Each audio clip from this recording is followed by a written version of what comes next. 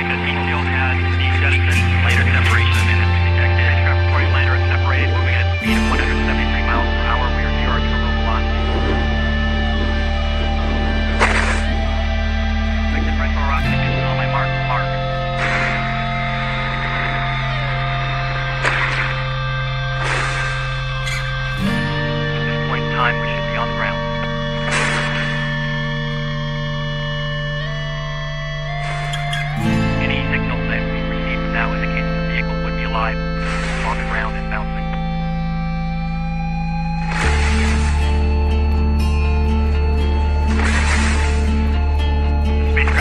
by both of them.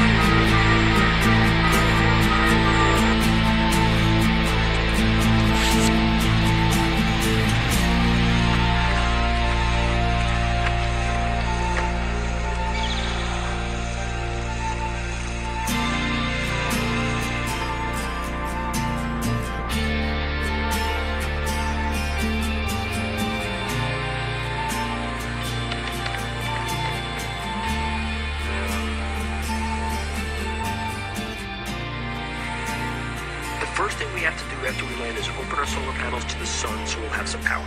This charges up the batteries.